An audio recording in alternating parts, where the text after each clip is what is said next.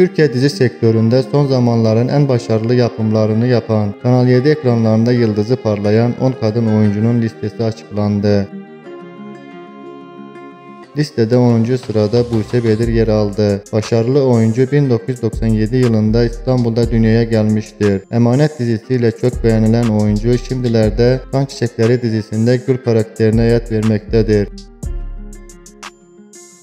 Listede 9. sıranın sahibi Esaret dizisinden Yağmur Çelik oldu. 1998 yılı İstanbul doğumlu olan yetenekli oyuncu ilk kez oyunculuk deneyimi yaşamaktadır.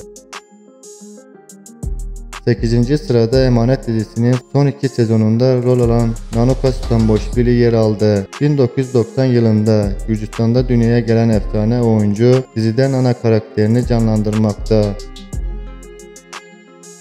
Listədə 7-ci sırada Rüzgarlı Təpə dizisinin gənc yeteneği Ezgi Dalğıç yer almayı başardı. Gözəl oyuncu 2001 yılında Çanakkale'də yata gözlərini açmışdır.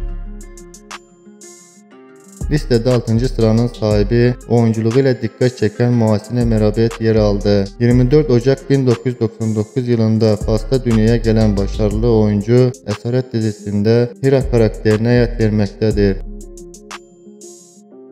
Listede ilk 5'e giren isim Özge Yağız oldu. 26 Eylül 1997 yılı İstanbul doğumlu olan efsane oyuncu Yemin dizisiyle yıldızı parlamıştı. Şimdilerde Safir dizisinde Beraya karakterini canlandırmaktadır. 4. sıranın sahibi Hazal Subaşı oldu. Adını Sen Koy dizisiyle parlayan Subaşı 2 Mayıs 1995 yılı İzmir doğumludur. Listede ilk üçe giren isim Rüzgarlı Tepe dizisinin yıldız ismi Cemre Arda oldu. 1999 yılı İstanbul doğumlu olan yetenekli oyuncu dizide Zeynep karakterine yer vermektedir. Listede zirvenin ortağı Sıla Türkoğlu olmayı başardı. Güzel oyuncu 18 Nisan 1999 yılı İzmir doğumludur. Şimdilerde Kızılcık Şerbeti dizisinde Doğa karakterini canlandırmaktadır. Listede şampiyon Kan Çiçekleri dizisinin prensesi Yağmur Yüksel oldu. Genç oyuncu 21 Ocak 2002 yılında Merzifon'da yata gözlerini açmıştır. Peki sizce hangi oyuncu zirvede yer almalıydı? Video hakkında düşüncelerinizi yorumlarda bizimle paylaşırsanız memnun oluruz.